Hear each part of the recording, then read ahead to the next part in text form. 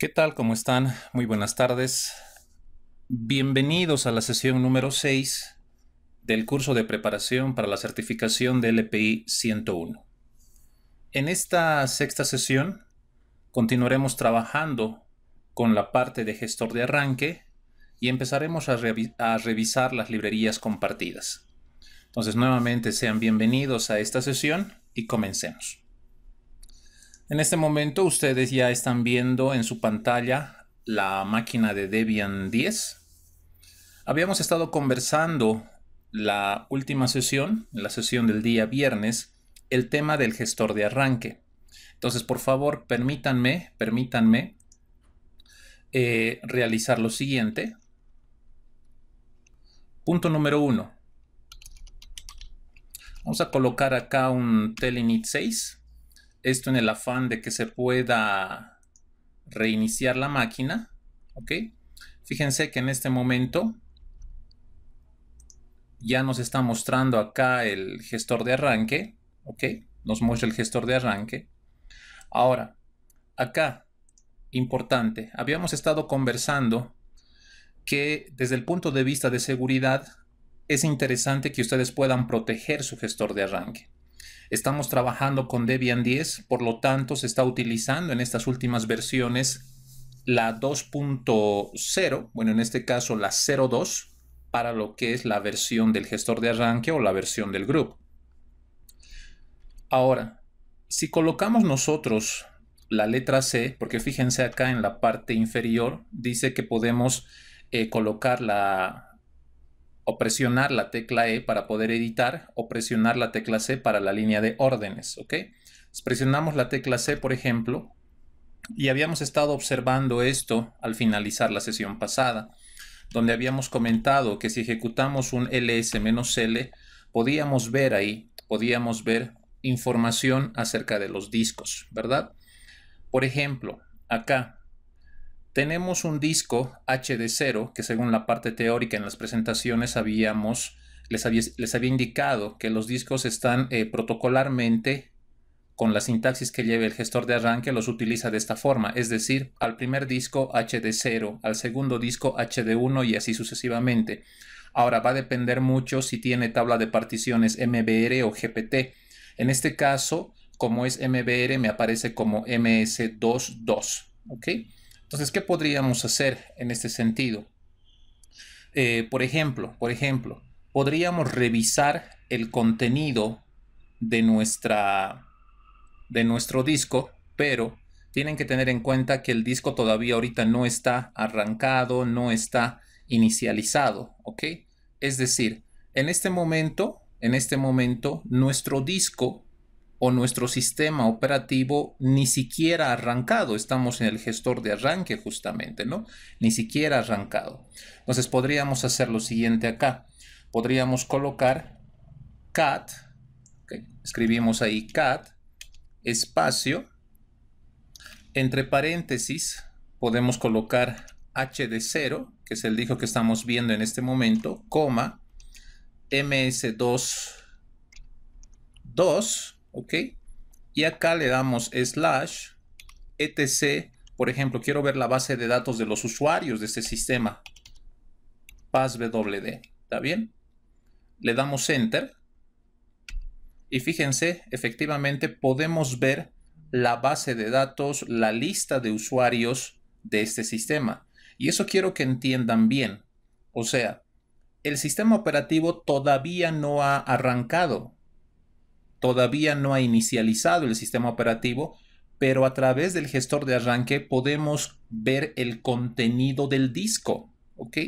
Porque ustedes entenderán que este archivo passwd, que es la base de datos de los usuarios de Linux, puede ser accesible a través del de el disco, ¿verdad? Entonces, fíjense cuán importante es proteger, asignarles seguridad asignarle autenticación al gestor de arranque, porque al fin y al cabo, cualquier persona que tenga nociones básicas de administración, nociones básicas de seguridad, podría realizar esta misma tarea. Ok, entonces en ese sentido, el tema de seguridad les va a ayudar mucho. Como verán, es importante que ustedes apliquen normas de seguridad, técnicas de seguridad, apliquen lo que es la parte de autenticación, ¿ok? Eso es importantísimo. Bien. Bien, entonces como les iba comentando, en esta parte ni siquiera el sistema operativo ha arrancado y ya estamos viendo información. Ahora, estamos viendo la base de datos de los usuarios. Por ejemplo, si, si yo le doy flecha hacia arriba, estamos cargando información del disco cero y acá le digo shadow, que generalmente es un archivo protegido, es un archivo que solamente se puede acceder si tenemos privilegios elevados, ¿ok?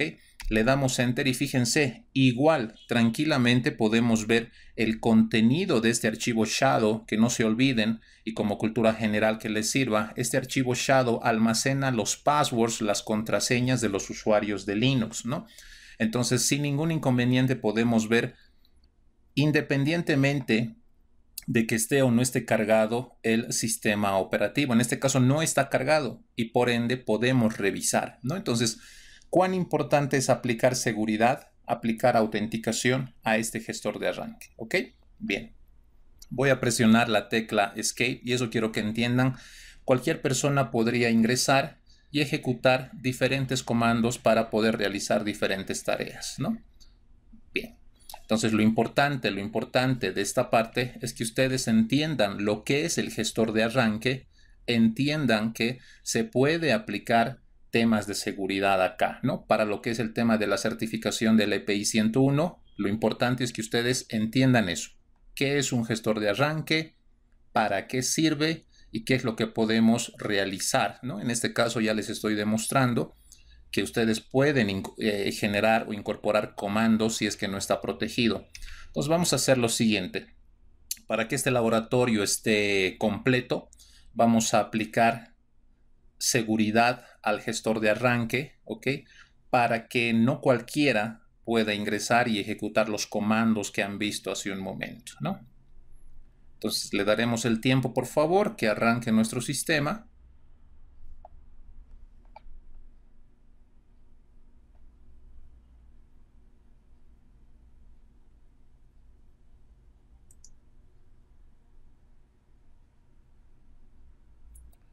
Ok, ahí lo tenemos, ya arrancado.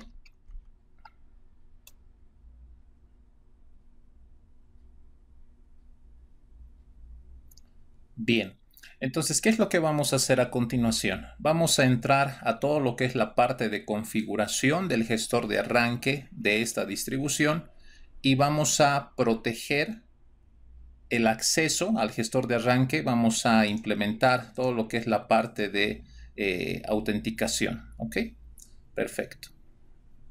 Listo.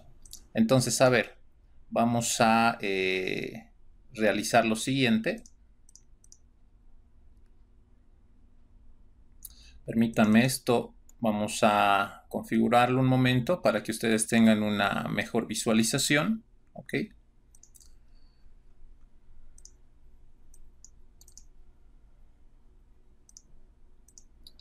Listo. Bien. A ver.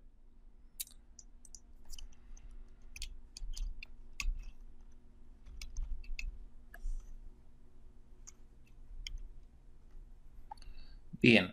Entonces, ¿qué es lo que tenemos que hacer acá? ¿Cuáles son los comandos que tenemos que eh, utilizar?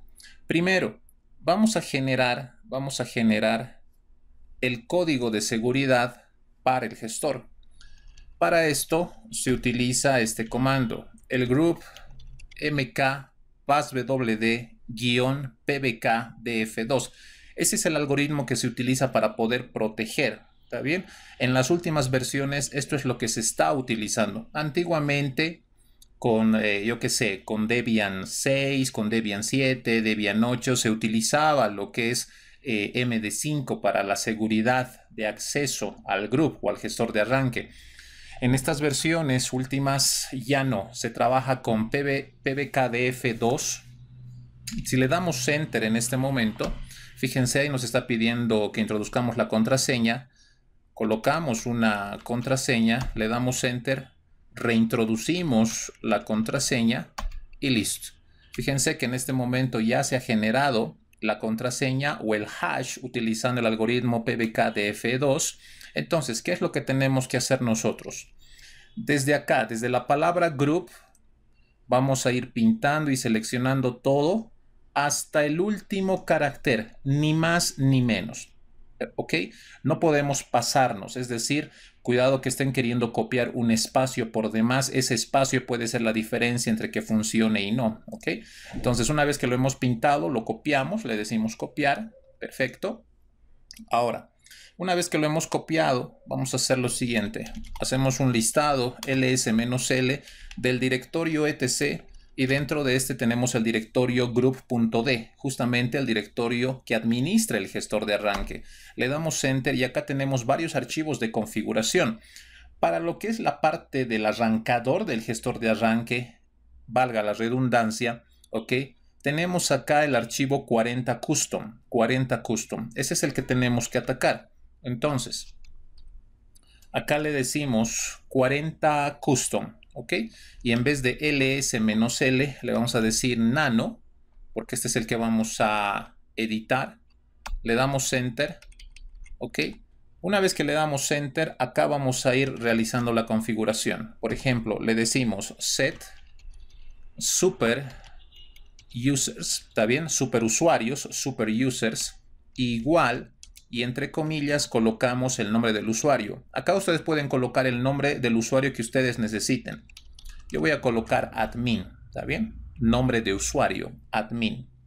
Le damos enter. Acá abajo colocamos la palabra password, guion bajo, pbkdf2, que es el algoritmo el cual se ha utilizado, pbkdf2, espacio, el nombre del usuario que hemos configurado hace un momento, que es admin, espacio, y pegamos, pegamos lo que es el código de seguridad que se ha generado a la hora de crear la contraseña, ¿no? Habíamos dicho que desde la palabra group vamos a ir copiando todo, ni más ni menos, entonces eso es lo que estamos haciendo. Entonces, una vez que ya tenemos estas dos líneas, estas dos líneas, simplemente lo guardamos, control O, Enter y Control X. ¿no? Con eso hemos configurado el tema de la seguridad para el gestor de arranque. Ahora, esta configuración necesita una actualización. Para eso tenemos el comando update group. ¿Está bien? Update group. Le damos enter, va a ir verificando y en este momento ahí nos está diciendo qué cosas está eh, actualizando, qué cosas necesita revisar, ¿no? Entonces ahí nos dice hecho. Este es el mensaje de que todo está correctamente configurado. ¿Ok? Bien, ahora, una vez que tenemos esto, vamos a reiniciar el sistema. Le decimos telinit 6, reiniciamos el sistema. Esperamos un momento. Y fíjense, ya estamos en el gestor de arranque. Ahora, hace ratos, hace un momento, hemos querido levantar ¿Está bien? Hemos querido levantar ingresando la letra C, ¿no? Hemos colocado la, la, letra C o hemos presionado la tecla C e inmediatamente ha entrado a lo que es la línea de comandos del grupo. En este momento voy a presionar la tecla C como hace ratos, pero fíjense, hace ratos entraba directamente, ahora ya no. Ahora nos pide nombre de usuario, ¿ok? Si coloco cualquier cosa le doy enter, me pide la contraseña, coloco cualquier cosa, obviamente que esta información está mal, ¿no? Está mal, entonces no hay problema.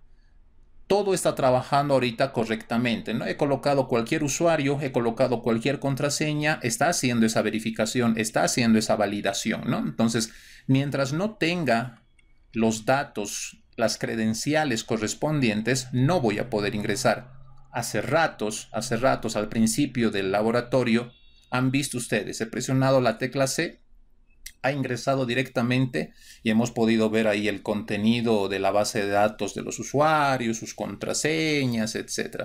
Pero ahora, al presionar la tecla C, me pide nombre de usuario. A ver, voy a colocar lo correcto. Lo correcto es admin, enter, y la contraseña. Colocamos la contraseña, enter, y fíjense recién, recién ingresa, recién podemos hacer tareas, podemos ejecutar las labores que necesitemos, ¿no? Bien, entonces, esa es la idea, esa es la idea. Esa es la forma en la que ustedes pueden proteger el gestor de arranque y es lo que deberían hacer siempre. No está bien, no está bien que lo dejen esto sin seguridad para que cualquiera que tenga nociones básicas de administración y configuración de Debian, en el caso de Debian, ¿ok?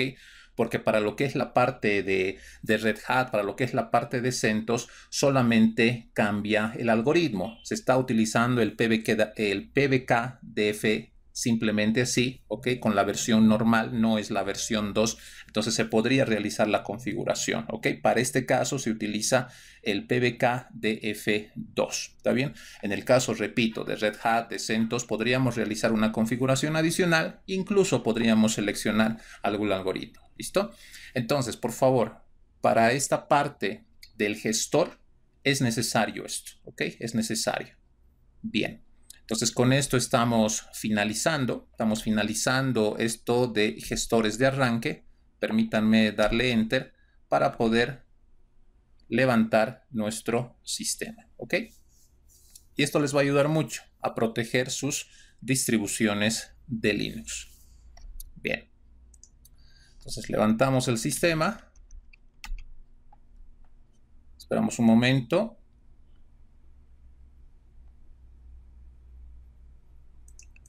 Perfecto. Bien. Ok. Entonces, una vez finalizado esta parte, vamos a meternos de lleno a lo que es el tema de eh, manejo de librerías compartidas. Ok. Librerías compartidas. Y eso les va a ayudar igual mucho eh, a entender cómo, cómo la mayoría de las aplicaciones dentro de Linux en general comparte librerías, comparte bibliotecas para su funcionalidad. ¿Ok? Entonces, por favor, les comparto la presentación.